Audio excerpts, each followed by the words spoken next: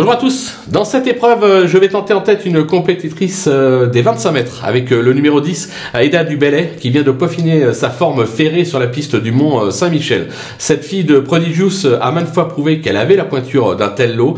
Alexandre Abrivard, qui l'a déjà plusieurs fois menée au succès et de retour aux commandes, je pense que l'engagement a été visé. Elle ne doit pas taper loin. Je vais également me méfier du numéro 1, Alphan Speed, qui est dans la forme de sa vie, une forme euphorique ces dernières semaines ce pensionnaire de Pascal Lelièvre euh, évolue dans son jardin sur la piste de Laval où il compte déjà deux succès sur euh, le parcours euh, du jour. Il est idéalement engagé en tête de nouveau pieds nus et enregistre le renfort d'Eric Raffin. Autant dire que tous les feux sont vert. Maintenant, c'est à vous de jouer. N'oubliez pas de liker, de vous abonner à la chaîne et on se retrouve tout de suite pour un nouveau Côté Code dans la sixième.